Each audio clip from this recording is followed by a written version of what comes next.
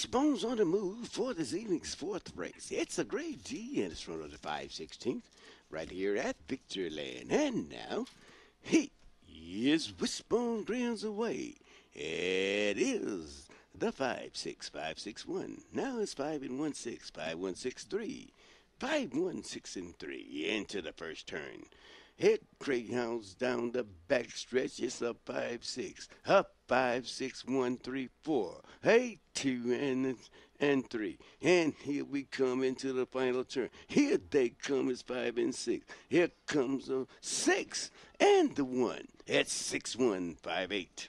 6 1 5 and 8 under the wire. Please hold our tickets until even. The 6-1 exacta pays $185.20. The 615 trifecta pays